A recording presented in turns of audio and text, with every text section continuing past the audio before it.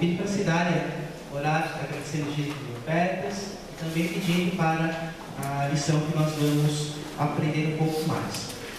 E após a oração nós vamos encerrar. Também gostaria de agradecer os irmãos que estão nos assistindo online, nosso curso ao vivo. Muito obrigado pela presença e também os irmãos que estão aqui conosco. Vejo a Cátia não é visitante pela primeira vez, já é da casa. Nossa Senhora abençoe ela, a vida do Samuel, Samu. Vamos orar. Oi? Aí, Leandro. Ah, está escondidinho. Que Deus abençoe a sua vida. E como a igreja costuma saudar os nossos amigos que estão nos visitando? Sejam bem-vindos em nome de Jesus. Amém. Seja bem-vindo. Eu não vi o Leandro, está escondidinho aí. Que Deus abençoe ricamente a sua vida. Oremos. Antes de orar, eu sem a vai dar uma Ah, sim. Senhor Deus Pai, graças te damos mais uma vez por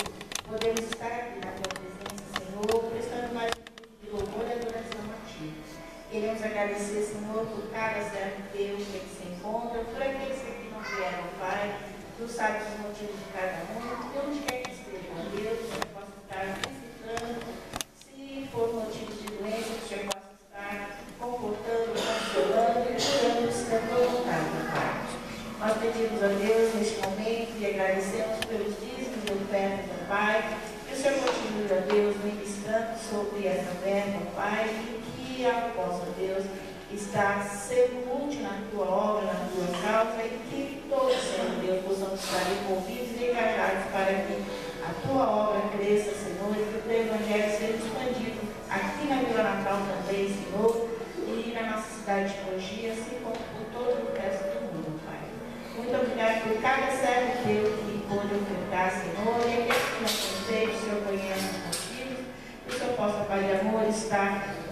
com cada um, Senhor Deus, auxiliando para que em breve, Deus, todos possamos estar engajados também nesse mandamento, Senhor, que é colaborar, contribuir com a tua causa.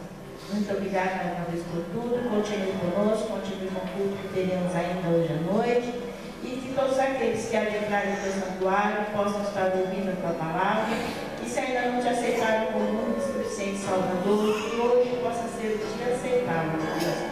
todos possamos ouvir a tua mensagem, entender, e passar adiante onde quer que estejamos. Muito obrigada mais uma vez por tudo. Continue conosco agora na escola de musical que tudo quanto quisermos e falarmos, meu Deus, possa ser para engrandecimento do teu reino, da tua obra. Eu oro assim agradecido em nome